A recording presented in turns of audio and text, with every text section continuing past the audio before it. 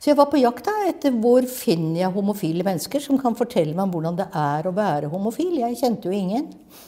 Eh, og eh, da ble jeg rådet til litt forskjellige ting når jeg spurte meg rundt blant kolleger og sånn. Det var eh, hvis du går ned på Larsen kafé der på Majorstuen og setter deg i baren der, så vil det nok alltids kunne komme noen og prøve å sjekke deg opp eller sånn. nå er jo du dame der, riktignok, men allikevel så kan jo det kanskje være en mulighet det var ikke akkurat min stil, for å si det sånn. Det var ikke det jeg tenkte meg var måten å gjøre det på. Eh, så fikk jeg idé om at, eh, at Finn Carling hadde skrevet en bok om homofile. 'Ring ham'. Og det gjorde jeg.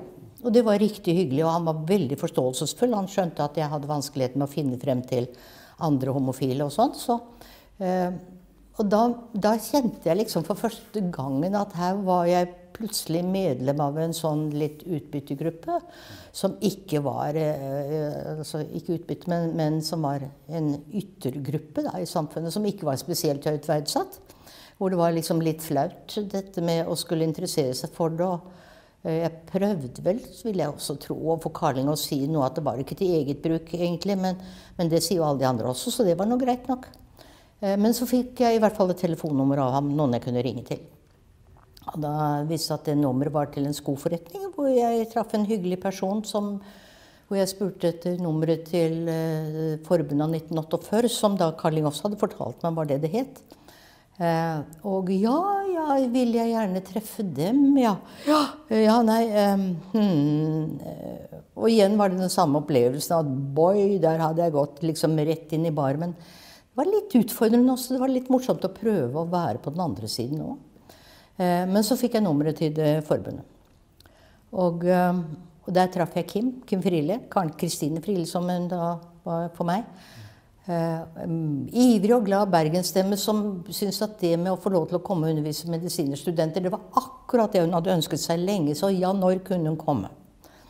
Og jeg forklarte da litt om opplegget, at dette var en smågruppe hvor litt av poenget var at hun skulle fortelle hvordan var det å leve som homofil i det norske samfunn. Vi er igjen tilbake til 1969. Eh, og eh, ja, så ble vi enige om at jeg skulle møte henne på Vinneren på stasjon.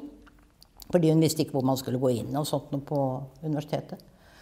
Eh, og det gjorde jeg, og jeg forventet da å treffe en ganske maskulin dame, gjerne litt høy og kraftig, kanskje litt på den tykkfallende siden, med kortklippet hår, med dress og med puddel.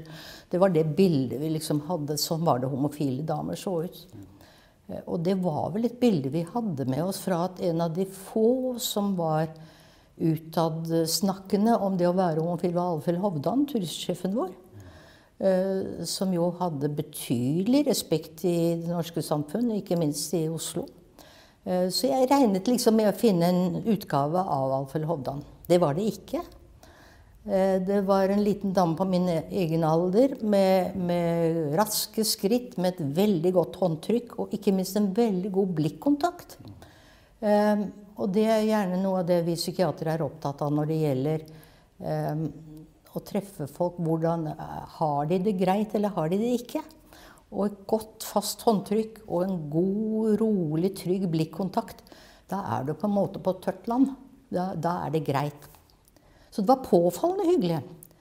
Eh, det var så hyggelig mens vi gikk og spaserte bortover mot vinneren, det var fem minutter å gå, at jeg, ble, jeg merket at jeg ble veldig høflig. Når jeg blir utrygg og usikker, så hender det at jeg blir veldig høflig. Jeg var veldig høflig på den eh, vandringen bortover der. Men så kom hun og stilte seg åpen for spørsmål, var flink til å fortelle.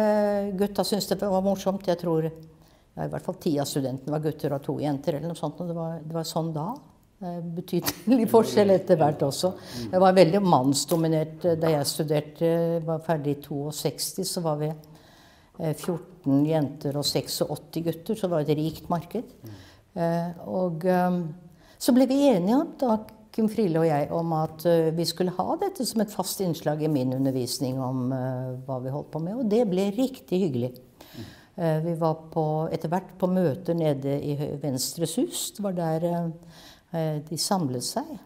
Da var jo studentene litt utrygge, litt usikre og sånt noe. Men, eh, men, det var ingenting i forhold til da vi ble invitert på Metropol på dans. Og disse pene, ordentlige guttene med skikkelig sveis og med gode karakterer fra skolen, alltid veldig vellykket og veldig streite. Det å bli budt opp av en homofil mann med gjerne litt gull rundt omkring i ørene f.eks., og sånt, og det syns de var vanskelig. Det var liksom ikke den intime glad, Det var vel forsøk på det selvfølgelig fra de andre side. Det var mye pent å ta av. Men, men, det var anstrengte forhold, for å si det forsiktig. Slik at Kim hadde ordnet at vi hadde en separat samtale om dette på, da, hvordan de opplevde det.